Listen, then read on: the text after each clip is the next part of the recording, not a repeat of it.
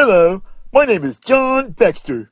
Today, we're gonna get Mr. Bones a makeover. Hey, Bones, how did you end up being such a homeless panhandler with your future down the drain, eh? Hey man, that's a long story. Then tell it to your priest during her next confession and stuff. Listen man, this is what happened man. Hey, I had my own business.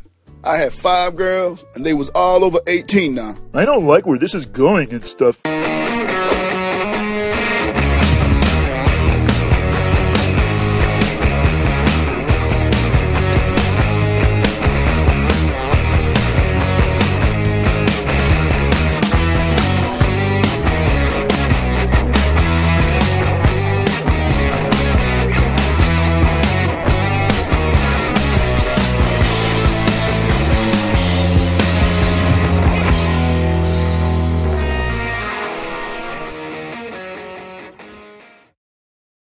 Look at here, man. Hey, my girls ran their business, and I collected the earnings from them every darn day. Hey, Bones, my biceps are shocked at what they're hearing here. Yeah, man. Well, I called the girls every single day, gave them their job, and they was working hard day and night, and even on the weekend.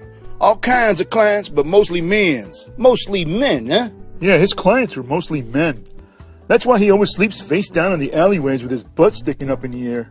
Man, my girls was happy, man, but their bodies was always tired. And I would always try to cheer them up by checking them out, make sure they was doing their thing, making money and staying happy. Poor girls. But it sounds like they was smoking hot though, huh? Oh yeah, man, they was fine. They was so hot, you could roast a 10 pound chicken on their hind end and invite the whole block. You're a sick bastard. Yeah, yeah. I would tell them wiener and sausage jokes because it related to their business, know what I'm saying? And they loved them because they all loved them big old wieners and sausages. Mr. Bones, you ran a call girl service? I mean, call girl service, man. I ran five hot dog stands. What's wrong with you? We was all getting paid too. I had a big ass house, two cars, and a wife who loved it me so much. All right. So why did your wife drop you like a bad nicotine addiction? Hey man, she claimed she caught one of my girls putting ketchup on my footlong wiener. You have a footlong wiener? No, I ate it, you hillbilly ass, inbred looking just like your Uncle Charlie bitch. You ate your own wiener? Uh, uh, man, hey, hey man, hey, this man's stupid, man. Hey, your mama keeps half-eaten ballpark franks right under her bed. Well, your mama doesn't even take them out of their package and calls them her men. Man, you crazy.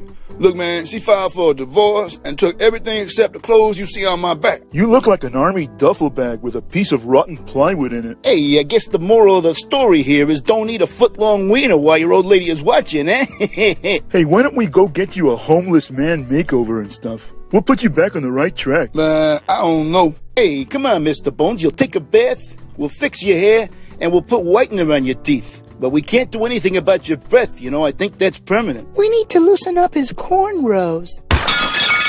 Wow, she tried pulling your cornrows out and she lost her grip and fell out of the window. Yeah, poor lady. The funeral's on Tuesday. Man, I just couldn't put the new clothes on. That's because you couldn't take your old clothes off. Your army fatigues have melted right into your body. Hey, man, they tried to clean me up, but I cleaned them out. When they wasn't looking, I took $300 from the cash register. Mr. Bones, give me the money back so I can return it and stuff. Man, I was just kidding, man. Give me a dollar, Conyo. Here's five dollars. Now go buy your mama some ballpark foot-long wieners.